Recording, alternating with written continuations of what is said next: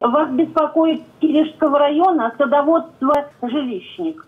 Нас атаковали кабаны. Они съедают буквально весь урожай.